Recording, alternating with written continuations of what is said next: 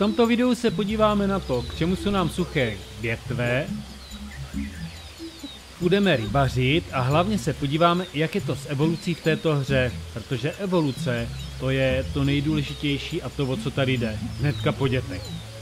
Takže napřed se pojďme podívat na, té, na ty suché větve. Tady si jednu zrovna utrhnu, ulomím. Samozřejmě z těch suchých větví se dají skládat tady takový nádherný ploty, jsou to zábrany, hlavně proti predátorům. Oni tady v té rané části hry, ti predátoři moc nejsou, toto místo je docela chráněný, ta jeskyně tady není přístup nikde jakoby po cestě, vždyť je to po skalách nebo po stromech, takže tady to není až tak potřeba, ale později, když jsou ty berlohy na takových otevřenějších místech, tak tam se občas stane, že přijde tygr a ten tygr dokáže udělat pěknou e, paseku mezi těma opicema.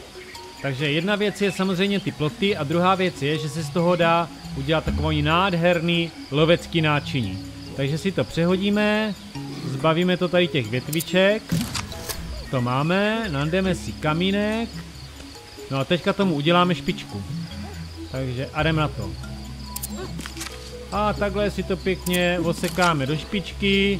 Samozřejmě ono to nějakou dobu trvá, ale čím častěji to ty opice dělají, tak tím jim to jde líp. Je to jedna, jedna z těch zručností.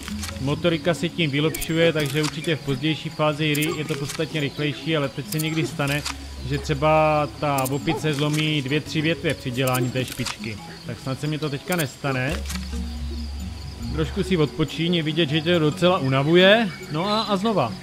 Děláme špičku. Já myslím si, že už to každou chvíli bude. Tak, takže máme špičku. Odhodíme klacek. No a teď se podíváme na ty ryby. Tady v té, u té jeskyně, tady v těch rákosích, tady jsou občas ryby, tady je takový lovecký místo. Takže se podíváme, a něco tady bude. Tak, dáme se do toho lovení těch ryb. A je tady. Takže máme rybu. To je samozřejmě důležitá část potraviny, důležitá potravina. Takže sundáme ji z klacku. Tak.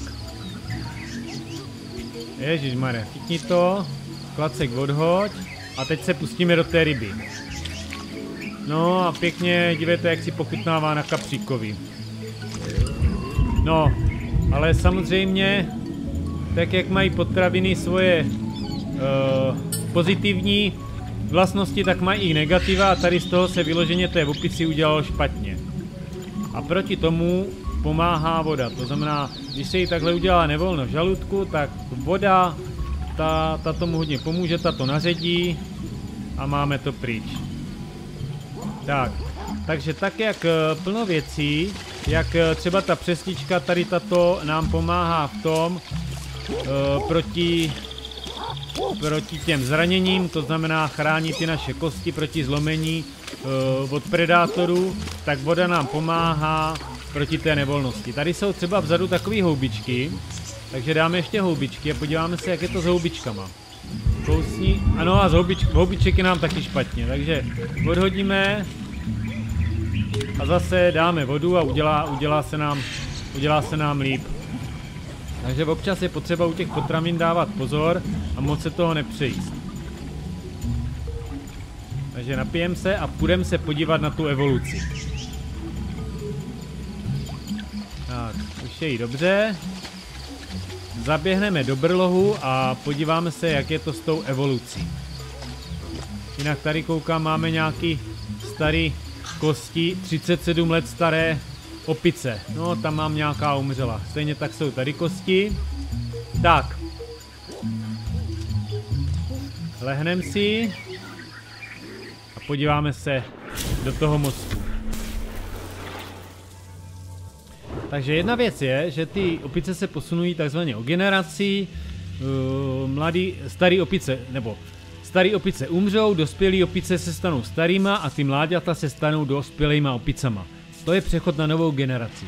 Ale pak tady máme tu evoluci, to znamená, že ty opice absolvují podstatně delší úsek toho svého vývinu. Tady, ukaž jak to dělám, xkem. tady během těch uh, věcí, co ty opice dělají, tak si plní tak, takzvaný achievementy. Dejme tomu tady za pět uh, naostřených klacků se splnil achievement a je připravený, je připravený na použití. Stejně tak třeba Jejdamane, teď mě to nende, tak. Tady máme za ulovení nejméně dvou ryb zase splněný achievement. Tady dokonce máme tři splněný ty achievementy. Tak já si to tady znova... No, tady dole je vlastně vývojová křivka. Ta, ta šedá, to je předpokládaný vývoj podle, podle vědců a ta červená je ten můj kmen, co já si ho tady hospodařím. To je jeho vývojová linka. Když budeme přecházet na evoluci, tak se to samozřejmě posune o nějakých, já nevím, třeba tisíc, dva tisíce let dopředu a bude se porovnávat, který, která z těch křivek jde rychleji. To znamená, jestli se rychleji vyvíjejí ty opice podle vědců, nebo jestli se rychleji vyvíjí ten můj kmen. A za každý tady takovýto splněný achievement se samozřejmě ty moje opice posunou o větší kus dopředu. Že třeba za toto můžu se posunout ještě o 10 let do, víc dopředu. Stejně tak třeba tady u těch u tady tohoto může klidně být, že za toto se posunu ještě o 5 let dopředu, o to, za toto ještě o 10 a za toto i ještě o 10 let dopředu. To znamená, dohromady se potom tady ty moje opice díky těmto splněným achievementům posunou ještě o dalších 25 let dopředu.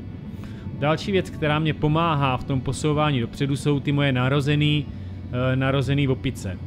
Toto jsou mrtví a toto jsou narozený. Mezi mrtví v opice se nepo, nepočítají ty, kteří spontánně umřou, protože jsou starý, na stáří, ne? Počítají se jenom ty, co umřou na základě toho, že vykrvácí, nebo že je zabije prase, uškne anakonda nebo něco takového. Takže potom samozřejmě ty narozené opice přidávají další plus roky dopředu k vývoji a ty mrtvé opice sam naopak ubírají, ubírají ty roky. To znamená, při přechodu na novou evoluci se samozřejmě podíváme, o kolik se která ta, jaká vývojová křivka posune dál. Takže to je, to je ten vývoj. A samozřejmě platí to, že furt je potřeba mít ty vláďata, čím více mláďat, tím víc si můžu vlastně uzamknout tady těch bodů, což jsou dovednosti, které si ty opice při přechodu z generace na generace už pamatují. Takže to je jasný, já doufám, že to bylo, že vám to bylo jasný, mně to je jasný, ale doufám, že vám to bylo jasný, pokud ne, určitě napište nějaký koment, rád tam odpovím a jinak já se jdu dál vyvíjet, takže zatím čau.